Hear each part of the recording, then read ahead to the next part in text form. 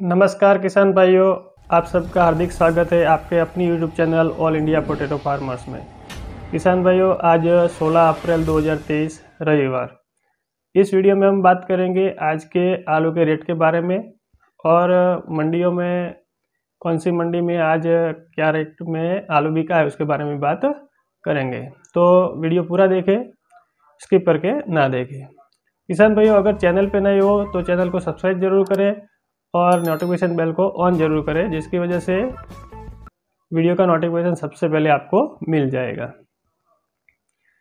तो आज 16 अप्रैल 2023 रविवार, आलू के रेट के बारे में बात करें तो गुजरात में ज़्यादातर मंडियों में आज छुट्टी होती है, लेकिन दो, एक दो मंडी है जिसमें रविवार को भी मंडी चालू रहती है। उसमें प्रमुख मंडी की बात करें तो वो है सूरत की आलू मंडी।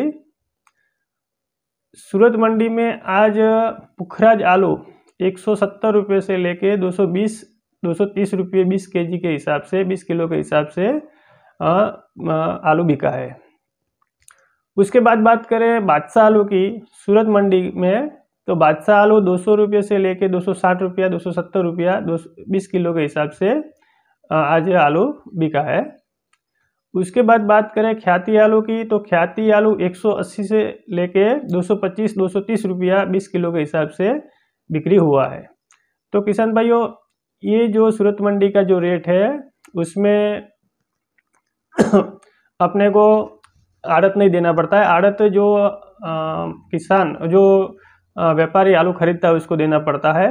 तो उसमें अपने को खर्चा लगता है खाली ट्रांसपोर्टेशन का मतलब गाड़ी का किराया लगता है। और जो अपना जो आलू अगर डंप का आलू है तो उसमें जो बारदाना लगाते हैं या तो बारदाना भरने के लिए जो लेबर का खर्चा होता है, वही खर्चा होता है।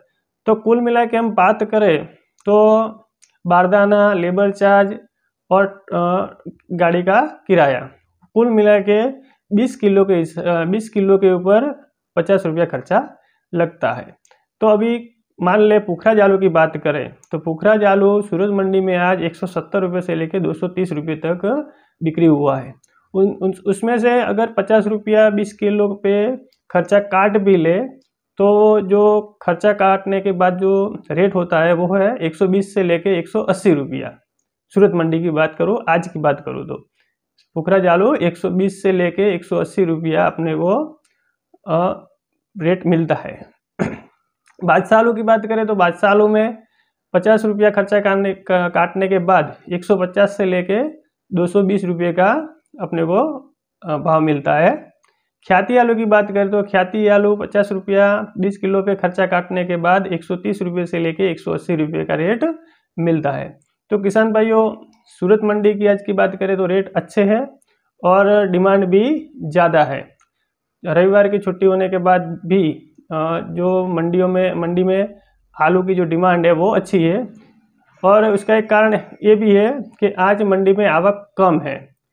सूरत मंडी की बात करें तो डेली ऑन एवरेज साठ से लेके सौ गाड़ी तक उसका आवक होता है। लेकिन आज तैंतालीस गाड़ी की आवक है और कल की जो सात गाड़ी पेंडिंग थी, उसको मिला के कुल पचास से पचपन गाड़ी की आवक है मंडी में। और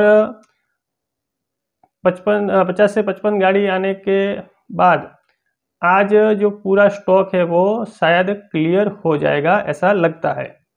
तो किसान भाइयों, अगर आपके पास डंप का आलू है और व्यापारी सही रेट में नहीं मांग रहे, सही रेट आपको नहीं दे रहे तो आप अपना खुद का बारदाना भर के ग्रेडिंग करके अच्छा आलू आलू का अच्छा ग्रेडिंग करके आप सूरत मंडी में ले जा सकते हैं। लेकिन एक बात खास ध्यान रखें कि अपने आलू की क्वालिटी ज़रूर देखें।